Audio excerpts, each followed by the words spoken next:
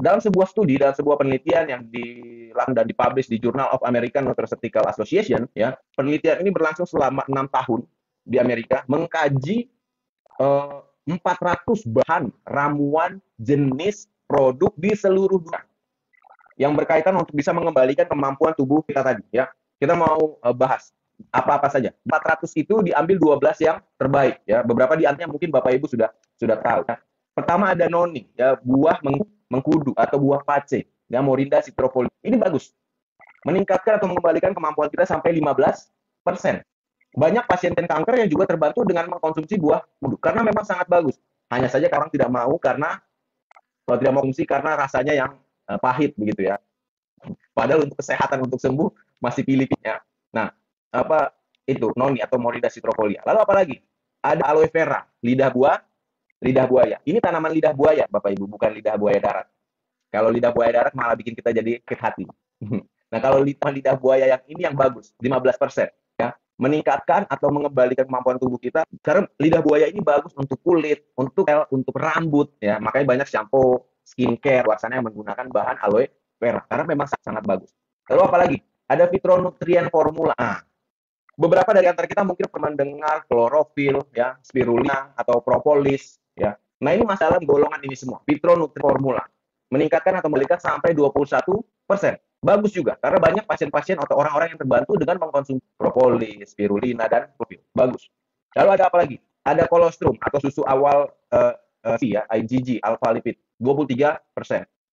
Ini yang menarik juga. Cordyceps ya, yang harganya satu linking ini saja 10 juta rupiah. Akar-akaran dari Cina. Bagus. Meningkatkan atau balikan sampai 28 persen. Ya. Nah, ini dari tadi dari Cina, sekarang kita pindah ke Jepang.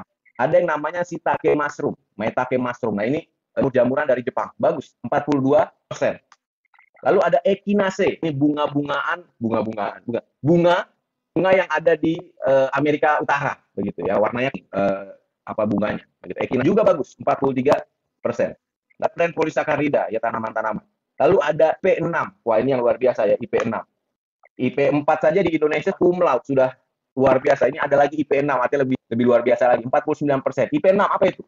IPC inositol hexafosfat ya, kulit ari kacang-kacang. Itu bagus, 49 persen. Lalu ada peringkat ketiga di dunia adalah mangosteen atau ekstrak kulit manggis merah. Jadi jangan kulit manggis merah yang dimakan ya, ada ekstraknya, nah itu juga bagus. 70 persen. Nah, hari ini saya mau perkenalkan adalah dua produk ini. Ya, peringkat pertama dan peringkat kedua di dunia untuk meningkatkan kemampuan tubuh kita. Ya, transfer faktor formula namanya botol biru eh, muda yang kecil ini 283 persen dan TF plus yang biru tua ini 437 persen. Peringkat pertama dan peringkat dua di dunia sampai hari ini, begitu. Lalu apa itu transfer faktor? Ya, Produk ini, Bapak Ibu, teman-teman uh, sekalian, bukan obat, bukan herbal, bukan vitamin, mineral, stem cell, hormon, steroid. Dia tidak menyembuhkan penyakit apa pun. Pak Norman, bisa nggak ini menyembuhkan uh, asam urat saya? Tidak bisa. Menyembuhkan diabetes gimana? Bisa nggak? Nggak bisa.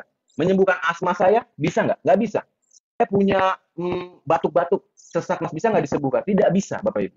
Ya, bahkan mungkin gatel-gatel saja pun tidak bisa disembuhkan oleh produk ini. Loh, kalau begitu, buat apa kita konsumsi atau buat apa saya konsumsi? Ya, karena tugasnya transfaktor ini bukan menyembuhkan penyakit, tapi mengembalikan kemampuan tubuh kita sehingga tubuh kita bisa menyembuhkan dirinya sendiri. Kalau kemampuan tubuh kita tadi sudah diperbaiki seperti di slide awal, dia akan mampu untuk mengatasi masalah apa pun yang ada di dalam tubuh kita. Bukan si transfaktornya yang melakukan itu, tapi tubuh kita sendiri yang sudah dikembalikan kemampuannya. Nah, cara kerjanya seperti apa? Tadi, satunya kita punya sistem imun yang ada, yang dia lakukan adalah meningkat sistem imun kita ke level yang optimal. Nah, kalau kita punya sistem imun yang terlalu tinggi, dia akan turunkan, seimbangkan ke level yang optimal.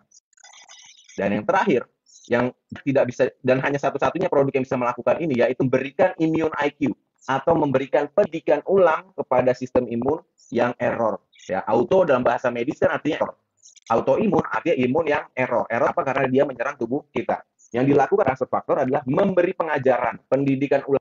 Eh, kamu jangan serang yang itu, tapi serang yang ini. itu temanmu, ini musuh kamu. Nah, itu yang dilakukan oleh transfer faktor. Saya nanti penyakit-penyakit apa pun yang ada di dalam tubuh Bapak Ibu, karena tubuh sudah diajarkan, dididik ulang, ditingkatkan dan diseimbangkan, maka dia akan menangani masalah itu dengan sendirinya. Begitu ya. Dan ini merupakan produk dari perusahaan sistem imun satu-satunya. Tidak ada perusahaan imun Bapak Ibu di dunia ini kecuali yang namanya adalah For Life Research.